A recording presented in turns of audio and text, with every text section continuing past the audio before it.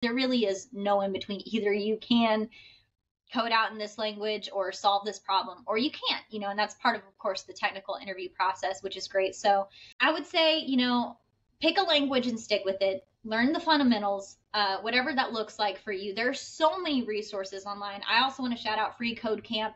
Love quincy larson. He's like my personal hero. I love that he's trying to make um, access to learning software development equitable for everybody. Like, oh, he's amazing. But um, that's an excellent resource.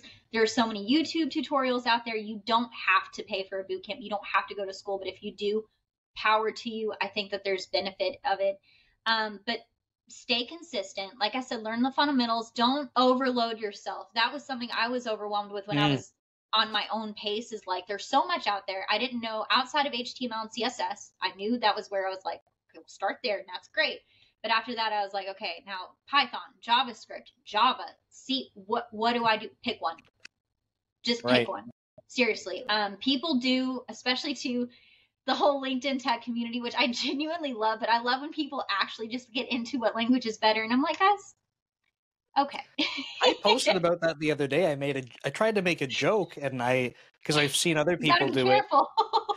Yeah, and I was like, haha, yeah, like you know there is no difference or like there is no better language except if you know c sharp is better because you know my right. audience is primarily c sharp developers but it's true like there right. there is no best universal language and to add into what you said from earlier you had said that you are the type of person that will get analysis paralysis so what's better to sit there for days weeks months and go i don't know which language to pick because i can't pick the best one or do you just start start learning it, start trying things, start building some experiences, and you either go, hey, this is pretty cool, or hey, this sucks, or now I'm curious about something else. Like you, you at least were doing something.